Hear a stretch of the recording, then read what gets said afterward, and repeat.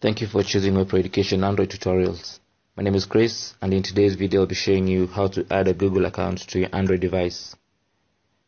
Now you know very well by now that you need a Google account to run an Android device properly.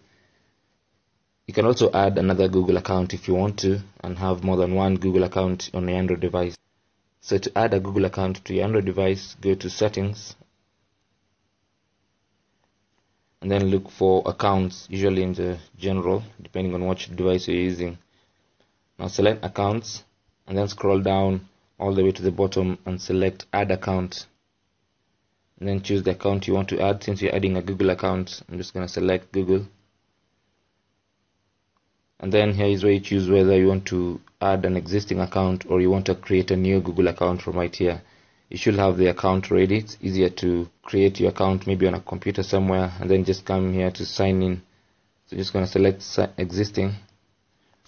And then I'm going to enter the sign in details and select done and then select OK and allow the device to sign you in. It should take a few minutes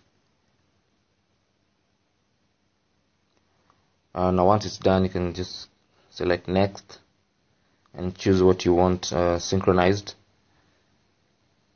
Now I'm just gonna check all this because I, I really don't want to synchronize everything for now. I'm just gonna check that. Then I'm gonna say next.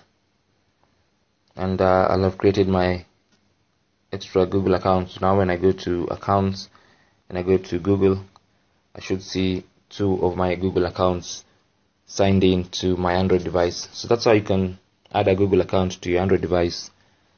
Thank you for watching. Leave your comments and questions in the comment box below the video. And don't forget to subscribe and share. My name is Chris from webeducation.org. I'll see you guys soon.